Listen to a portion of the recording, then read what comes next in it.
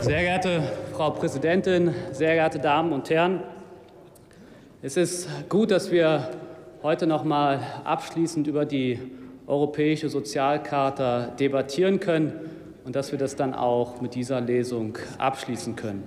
Die Diskussion hat gezeigt, dass die europäische Sozialcharta ein historischer Meilenstein war, dass 50 Jahre europäische Sozialcharta auch ein guter Anlass war, auf Wunsch der Linken darüber debattieren zu können.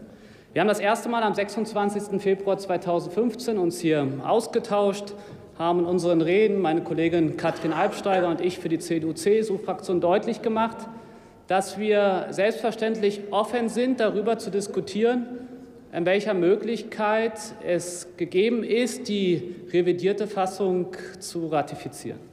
Wir hatten dann am 10. Juni 2015 eine Anhörung im Ausschuss für europäische Angelegenheiten.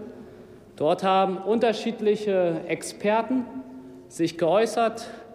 Der DGB hat die Hoffnung geäußert, dort zu einer Ratifizierung zu kommen, hat aber auch in einzelnen Punkten unsere Kritik, zu der ich nachher noch mal inhaltlich eingehen werde, ja auch bestätigt.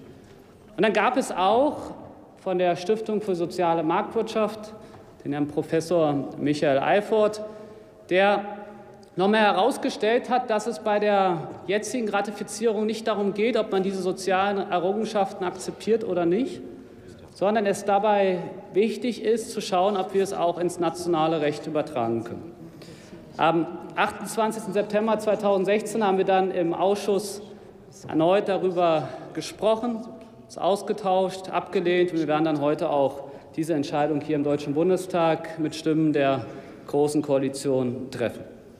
Und wenn man dann noch mal in die Geschichte guckt, 1964 hat die Bundesrepublik Deutschland die Sozialcharta ratifiziert, dann war das damals ein wichtiger Schritt, weil man auf der einen Seite wichtige Rechte definiert und festgehalten hat, zum Beispiel das Recht auf Arbeit, das Streikrecht, Recht auf Gesundheit am Arbeitsplatz und andererseits nicht nur für die Bundesrepublik Deutschland, sondern auch für die Staaten des Europarates war es ein wichtiger Punkt für die Entwicklung einer einheitlichen Sozialpolitik. Das muss man an der Stelle deutlich sehen. Und dann war es 1996 soweit, dass die europäische Sozialcharta revidiert wurde und Deutschland die 2007 unterzeichnet hat, aber bis eben heute noch nicht ratifiziert hat.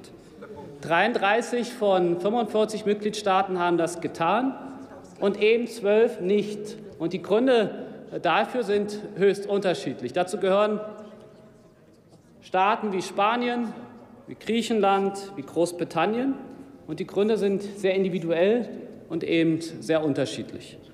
Und wir haben nun mal das Credo in der Bundesrepublik Deutschland, dass wir internationale Abkommen nur dann auch umsetzen, wenn wir sie glaubwürdig implementieren können, wenn wir das, was dort vereinbart wurde, auch ins deutsche Recht übertragen können.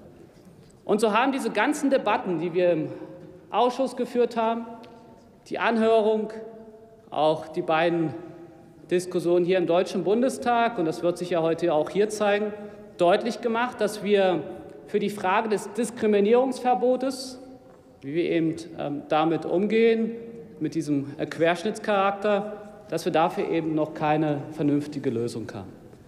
Und der zweite wichtige inhaltliche Punkt, und da haben wir auch sag mal, inhaltlich eine andere Auffassung, ganz deutlich, auch zu denen, was beispielsweise von Ihnen in der äh, Debatte kam, ist die Frage, wie gehen wir mit einem allgemeinen Streikrecht um? Wir haben in der Bundesrepublik Deutschland kein Streikrecht für Beamte. Das wollen wir auch nicht. Da haben wir eine ganz klare Überzeugung. Und so zeigt sich, dass mit dem heutigen Tag es, glaube ich, wichtig und richtig war, diese Debatte zu führen, aber dass wir eben schon feststellen müssen, dass wir, glaube ich, an dieser Stelle noch nicht so weit sind, um die Ratifizierung umzusetzen. Deswegen werden wir als Unionsfraktion auch den Antrag der Linken ablehnen. Vielen Dank für die Aufmerksamkeit. Vielen Dank. Dann darf jetzt die Linke darauf antworten mit André Hunko.